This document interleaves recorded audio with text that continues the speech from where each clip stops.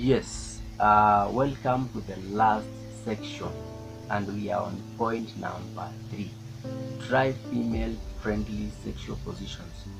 Given uh, what we've just learned, you can uh, pretty much guess that the best sexual position for female orgasm involves those that provides maximum stimulation to the clitoral or G spot or both. And these positions are woman on top. This position pro- uh, provides some of the best stimulations of the G spot given the anchor the anchor of uh, the penis. She also can move her body in a way that stimulates uh, clitoris. So that this means uh, this is the best position actually whereby you'll be able to reach uh, both G spot and also you'll be able to reach uh, uh, clitoris.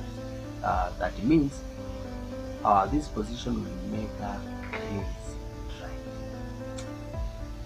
Uh, Roman 2 rear entry is very tricky. This position is so great for clitoral stimulation, but provides excellent penetration and stimulation of the G spot. Either of you can reach under during sex to rub the clitoris. So any of you can rub the clitoris for more stimulation. Ah yes, the, the uh, Roman 3. Having your partner sit on your lap allows both of you deep penetration and good clitoral stimulation. It can also provide plenty of intimacy. And this marks the end of our lessons.